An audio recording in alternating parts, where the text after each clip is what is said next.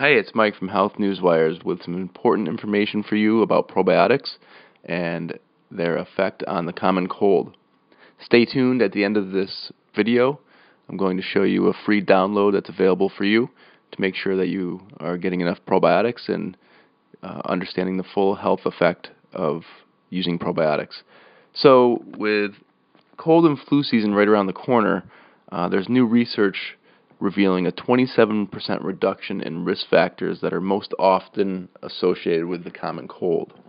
Specifically, um, a study of 500 adults supplementing with different amounts of probiotics, some with 2 billion, some with 5 billion, and, and some with a placebo uh, containing zero uh, CFUs of probiotics, uh, demonstrated clear support for probiotics as a significant factor in reducing the effects of the common cold.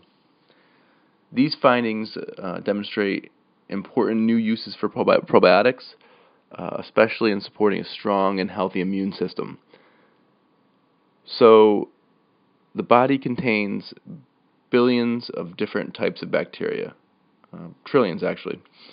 And the probiotics are defined as live bacteria that provide a health benefit when they're present in appropriate amounts. So current recommendations are to make sure that 85% of your bacteria is um, good bacteria or probiotics. And in addition to a 27% reduction in the risk of upper respiratory tract infections, most commonly associated with the common cold, using probiotics has also been associated with a shorter duration time spent fighting off the common cold, uh, lessened symptoms of the common cold, and significantly fewer missed days of school and work due to illness. While uh, doctors aren't really exactly sure how the probiotics are defending against the common cold, uh, some of their research theorizes that probiotics may not defend directly against the common cold, uh, attacking the virus. Rather, uh, it le- they lessen the, the inflammation, like the sore throat and the stuffy nose, that are associated with, with the virus. And that allows your body and your immune system to focus more of its efforts on eradicating the cold virus. Uh, the common cold is estimated to affect roughly 500 million people each year in the United States, and that costs an estimated $40 billion in medical costs.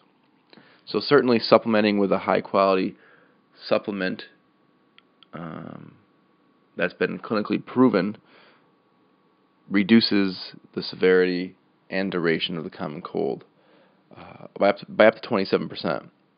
So, with cold and flu season quickly approaching, uh, it's highly recommended that you supplement with a high quality probiotic uh, each day. And speaking of high quality probiotics, like I said earlier, there's a free download. You can click on the screen and take advantage of it. It's called the Top 10 Gut Cleansing Foods. And this download ensures that you understand uh, foods that make sure there's healthy amounts of bacteria in your in your digestive system. Uh, ensures that you're reaching that 85% of uh, bacteria being probiotics, and it also ensures your digestive and immune system are functioning uh, at maximum capacity. So click on the link, um, take advantage of, of the information, and supplement with a high quality probiotic. Thanks for listening. This is Mike from Health Newswires.